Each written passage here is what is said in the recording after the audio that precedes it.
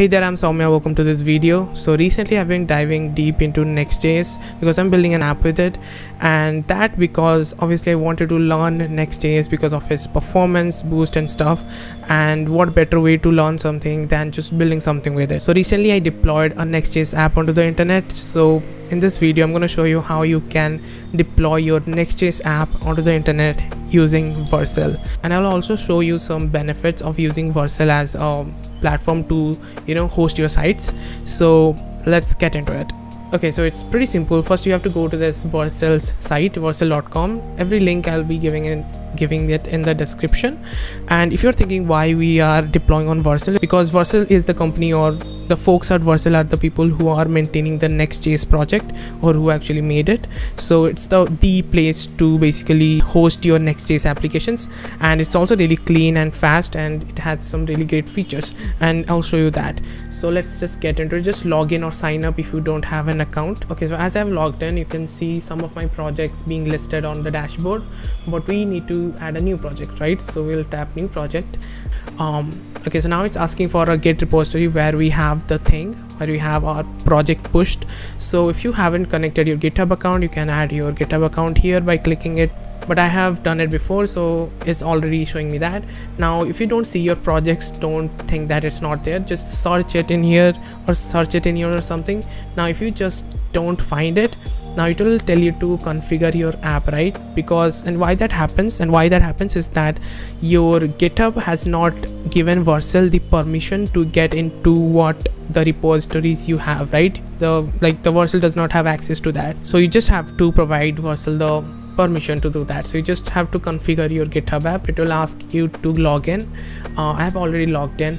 Just select your account and um, now just go down and you'll see the repository access. Either select all repositories which will give vercel the access to all the repository you have. So the next time what will happen is that anything you search in here that is in your github will just show up in here and you don't have to configure your github app right? But if you just want to give it access to just some project of yours you can just select that repository the project's repository right? So you can just type for example i'm gonna type a project uh, what i'm working on now. So I can tap that. You'll see it's been it's been added here.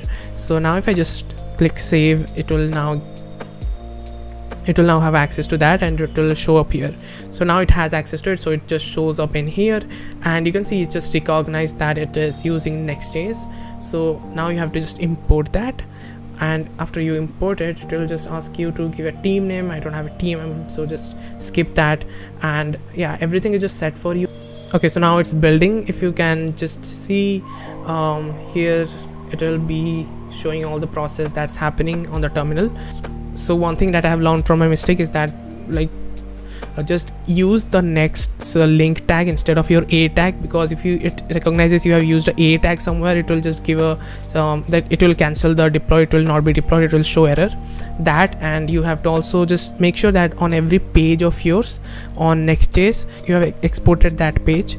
Uh, if you don't have an export it will show error right? So just make sure of these simple things and now yeah the see all this animation like great right? Okay so one thing really great is that if you just push your code to main anytime now this app will be automatically redeployed by next.js it will just sense that you have got a new commit and it will redeploy um, and another thing is that if you just push to any other branch than the main branch it you can just preview things. So you can see okay you have added a new feature you're going to see how this works. You can push that to any other branch. So that's really great thing about using Vercel as a platform. Uh, so if you just go to now the dashboard uh, obviously you can just visit it and see that that it is working. Yeah you can see it it works now right? Okay so that is enough because this is an app i'm working on and i don't want to reveal everything now. Now i want to show you some great features that vercel offers offers if you just deploy here. So first thing is that analytics right? You can enable this analytics and what will happen is that it will record uh, it will just um, analyze how your app works when the user interacts with it and that is something you obviously want to know to improve your app for the users right? For a great ux experience. That's what it says. It will just give you insights on loading speeds responsiveness uh, visual stability and stuff so that you can contribute to a great end user experience. So that is really great. You can just enable this and probably you have to redeploy.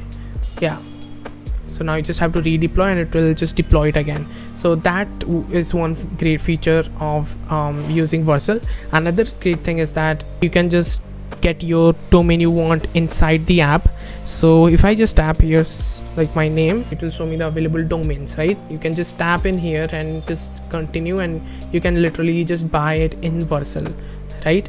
So that is really great feature you don't have to leave the app or anything. Another great thing about Vercel is that it provides you integrations.